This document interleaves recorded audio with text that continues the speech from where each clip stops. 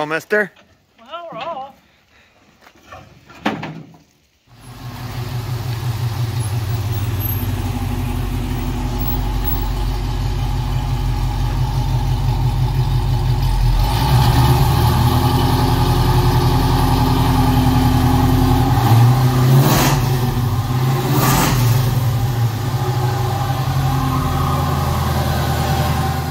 Look at this beauty. 69 Camaro. LS3. Bit of a Resto mod build. Pretty fresh build from the looks of it. It's like 140 miles on the odometer. Some nice body mods done. No drip rails. Spoilers Frenched in. She got a little dirty on the way over. It's raining out today. Pretty sharp looking car. Kindig door handles.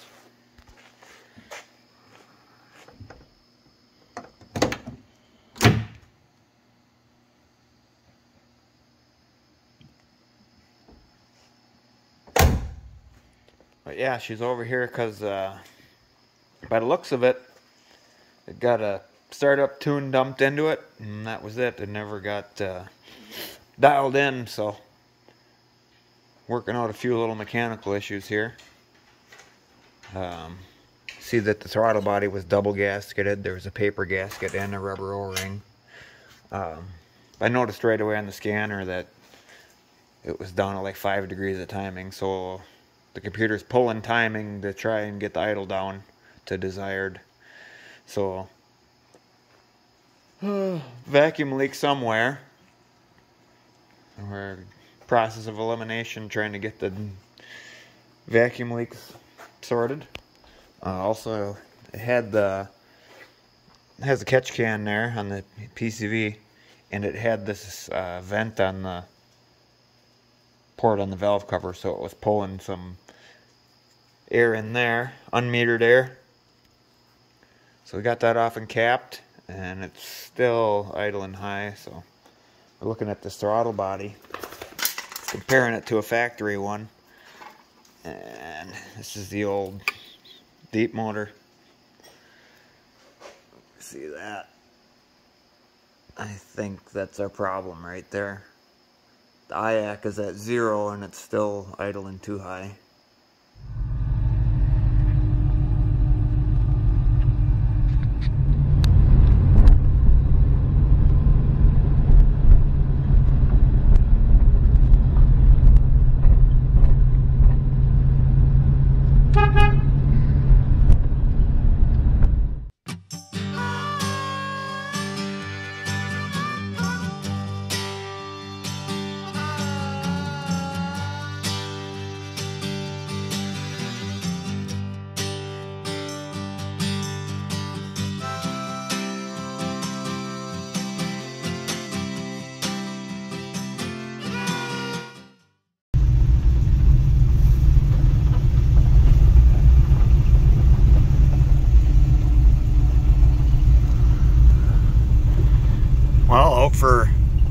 Day two of tuning here. Yesterday I just ran it to town to get a baseline log. And results were, it was like dangerously lean, like 25% lean. The one time I hit it wide open. And uh, the transmission was pretty squishy. Uh, the com- it's got a P01 computer in it. Determined that uh, it's got a stock O2 Camaro LS1 tune in it. And uh, pretty much, uh, aside from some strange timing changes, that uh, all in all was a O2 Camaro tune on this LS3. So, yeah, it's gonna take me about a half hour to get up to the blacktop. I don't want to be chipping this thing up. Run her about five mile an hour the whole way up there. but uh, we'll see what we can uh, get this fueling dialed in. I did throw some fuel at it right away this morning before I flashed a tune in it. And uh, yeah, see if we can make some power out of this thing. This had about, felt like it was about 150 horse yesterday, so we're gonna change that today. I'm back from my little cruise here, and I chucked a ton of fuel at the tune. I mean, like way more than it would ever need. Uh, just tuning the MAF right now. And it's still going super lean and stumbling. Uh, almost feels like a fuel pressure related issue or starvation. So I've popped a plug out on the back of the rail here. And that's a number eight fuel rail. I don't have a fitting to get my gauge in there. So what I do have is a number 8 ORB plug and a number 4 AN, that's what my fuel pressure gauge is. It's a quarter inch pipe, so I'll drill that out on a lathe and tap her out so I can verify fuel pressure.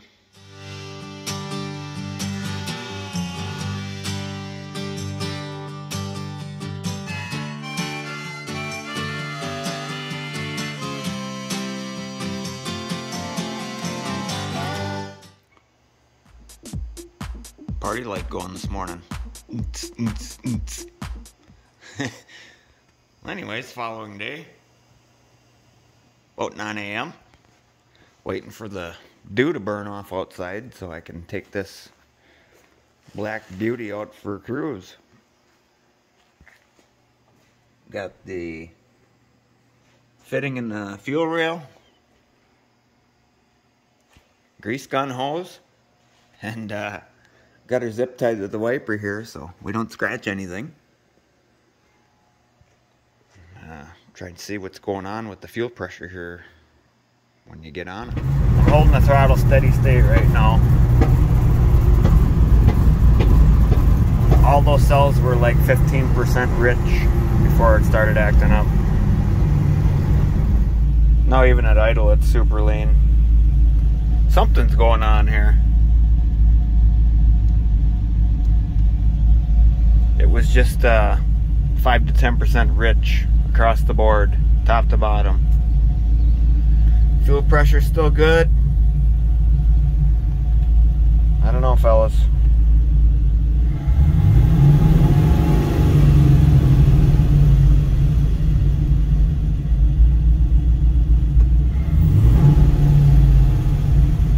Now just a couple minutes later here going idling down the gravel road came back rich. I didn't do anything. No modifiers going. Uh, I've been keeping an eye on the stoich. That isn't moving. And I've got the trims disabled. So I pulled the intake duct back off here so I could uh, move this radiator shroud back a little bit. I put these rubber seals in along the edge here because this car does run kind of warm. There was like a half inch gap between the shroud and the radiator, so I put those uh, foam rubber edge strips in.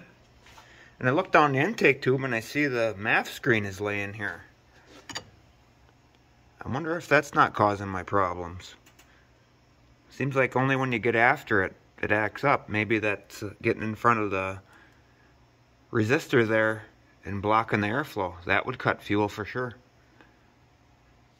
Well, just got back from another test drive. No improvement. Still popping and banging. And uh, get a clue though. I had a mass airflow sensor performance code come up. And just comparing these two, I just went and got this one out of the backyard off of a six liter parts truck I've got tucked away back there see on this metal part, doesn't say anything. And then the OEM one says Delphi there.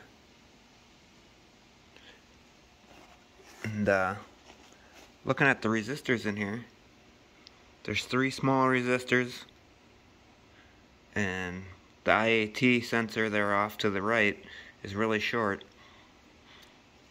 And compared to this one, it's got some big oddball resistor in there and it just looks like a wire on the other two. Yeah.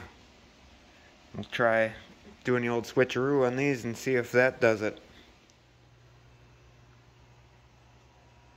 Well, we got the new throttle body on.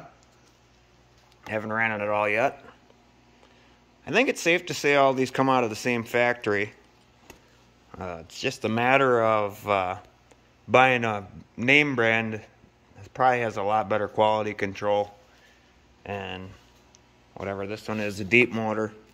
It's probably the second off the fast line, so on and so forth. So even if you think you're getting the same thing uh, for less money, it's not always the case.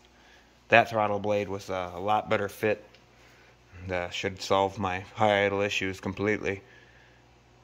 Um, since I had it back in here, I also went ahead and threw a 160 degree thermostat in there. Uh, I noticed it ran kind of warm. I did put um, rubber strips in the side of the fan, try to get a little more efficiency out of the fans here. It, uh, it doesn't overheat, but I don't know, just runs a little warm for my liking especially with the AC on, which is nice. But idling up the road climbs up, uh, gets close to 220, just idling. So hopefully that solves that. I'm gonna take her out in the morning, and uh, pretty sure we've got the fueling issues uh, figured out. What was going on there? I'll test my theory tomorrow and let you know how that goes.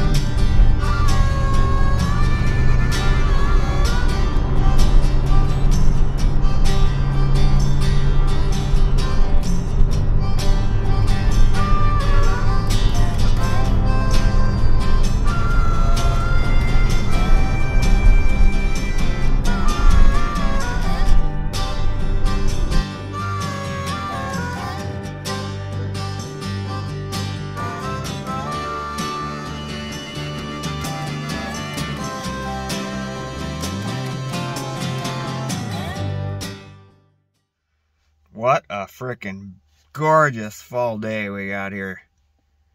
This car's finally coming together. Just look at it out here. It's beautiful. Just flashed another cal in. Just about done with fuel. Mass air sensor. That's what our culprit was. It was failing the MAF out.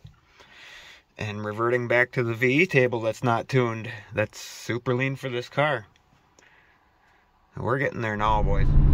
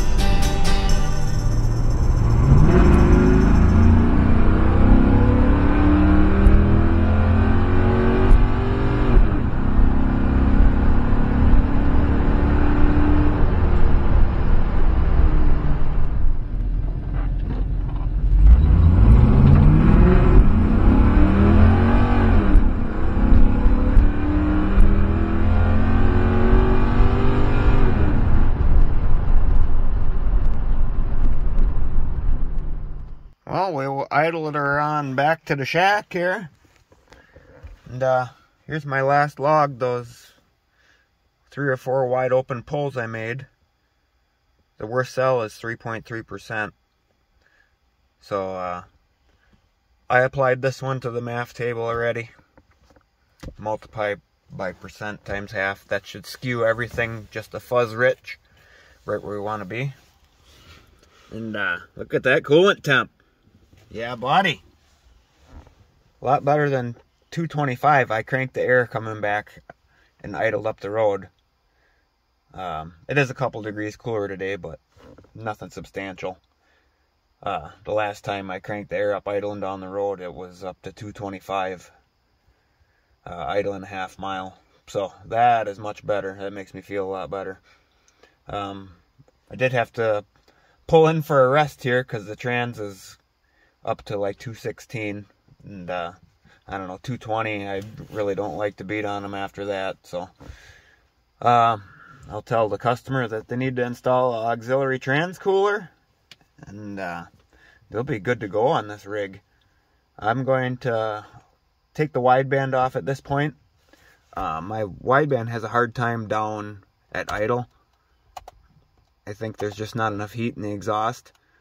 It's no matter how much fuel I pull, it's still showing uh, rich down here in the idle cells. So uh, I'll let the narrow bands clean that up. I'll do uh, long-term and short-term fuel trim math to plot my graph on that. And I'll just take the idle areas and leave the all the wideband stuff alone. So yeah, I think we're pretty much dialed here. This thing's a ripper.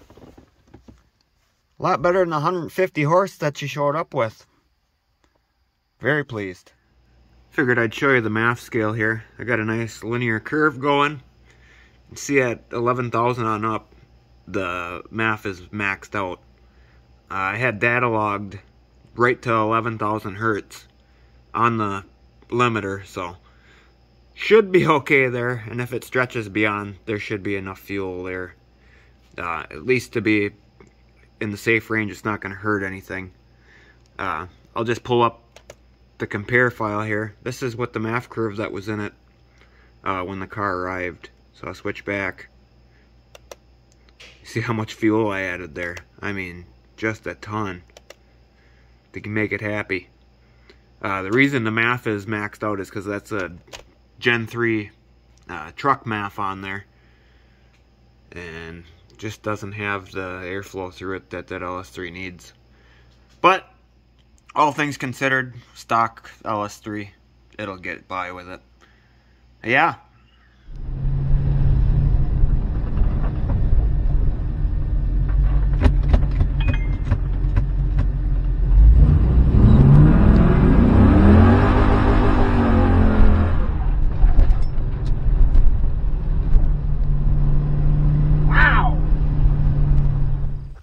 that's pretty much going to do her on the 69. Just took her out and threw some timing at it. Now that I knew the fueling was good. And this son of a bitch rips. I'm not doing it any favors. Uh, she's awful filthy. Figured at least get a little bit of footage here of it out in the sunlight for you guys.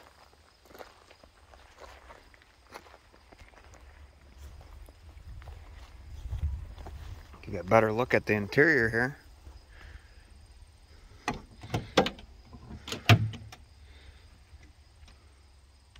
like I said before, they're fixing something in the door here when they dropped it off. So that needs to go back together yet.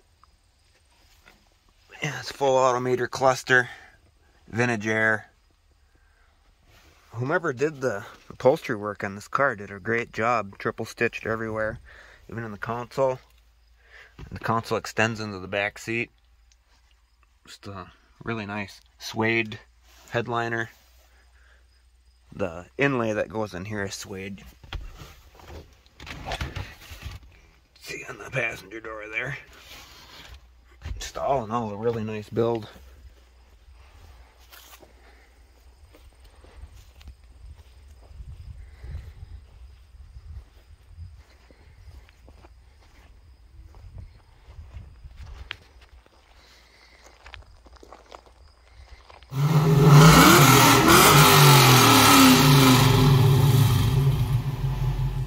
That's going to pretty much wrap up the 69 Camaro.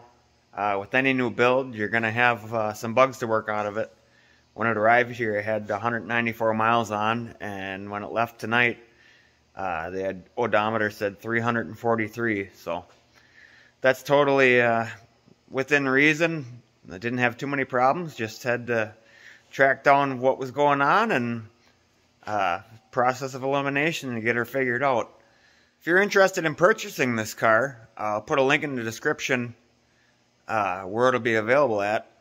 Thanks for watching, everybody, and we'll catch you on the next one.